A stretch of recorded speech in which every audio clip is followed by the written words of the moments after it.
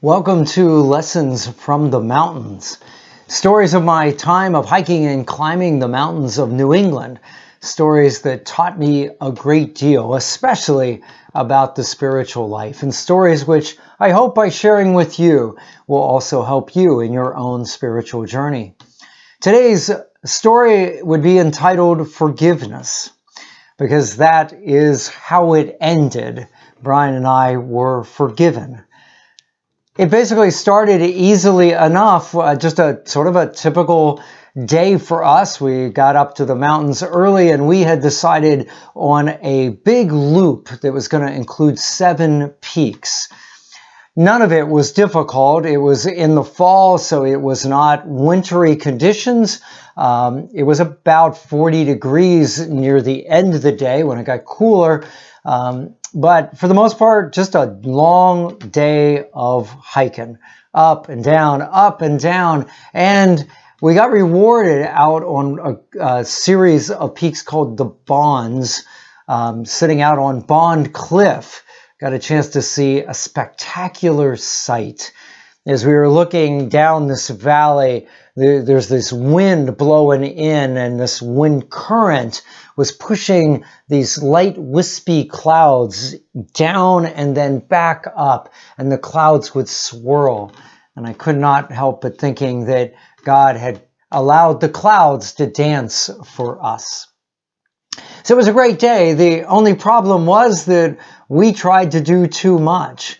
And so as we were heading up number seven, Mount Hale, we were running out of time. It was getting dark. And you have to understand that our plan included a little bit of an oddity. The idea was get to the top of Mount Hale and then bushwhack down the side of this mountain.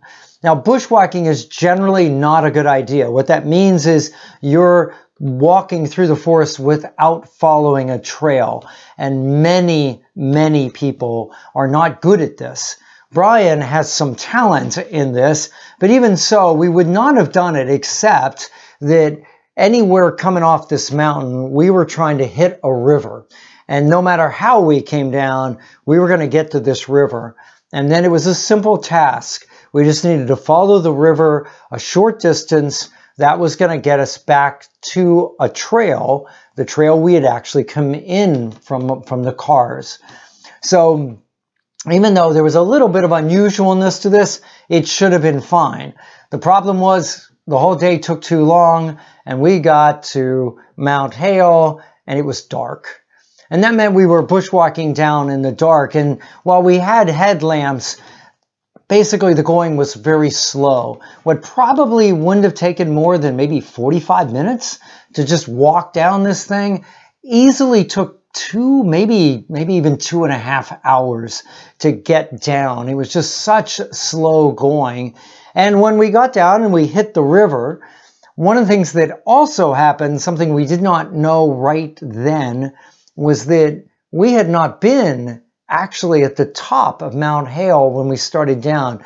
We had been on a sort of a little peak. It had, it had topped out and was starting to go down.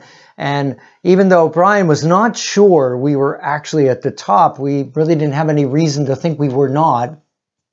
And so we started down there. And what that meant was when we hit the river, we were much farther upstream than we were anticipating.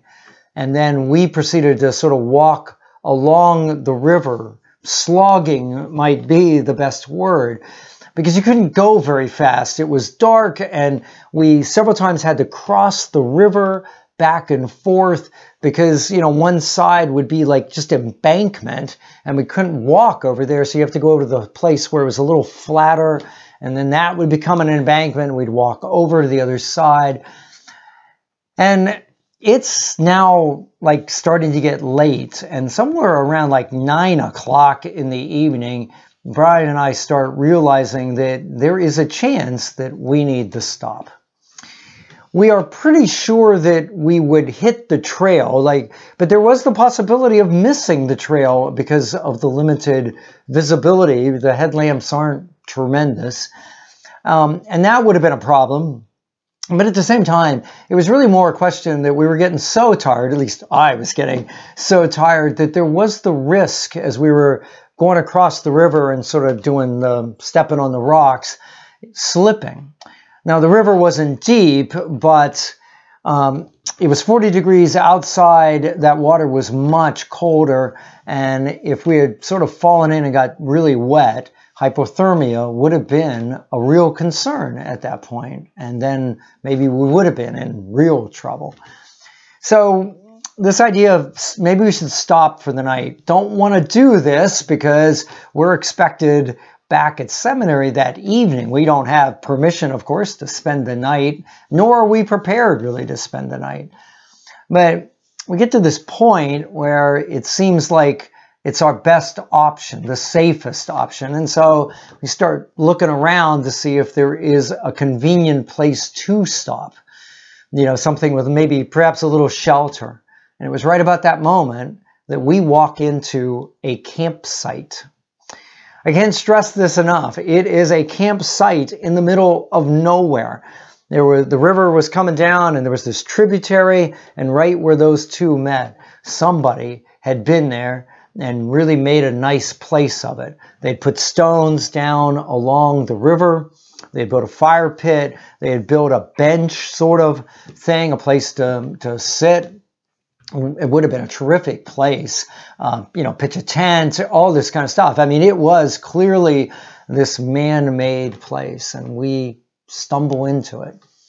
So Brian takes a moment um, because to look around, we certainly don't want to disturb anybody if there's anybody there, but at the same time, we're also thinking you got to get to this place somehow. And we were hoping maybe there was a small trail that would lead from there to the main trail we were looking for. Because if we got on the main trail, we would have made easy time back to the car.